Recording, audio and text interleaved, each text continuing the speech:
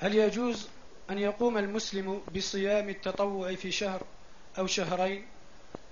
فقط بدل من صيام ثلاثة أيام من كل شهر. لا صيام ثلاثة أيام من كل شهر مستمرة سنة مستمرة.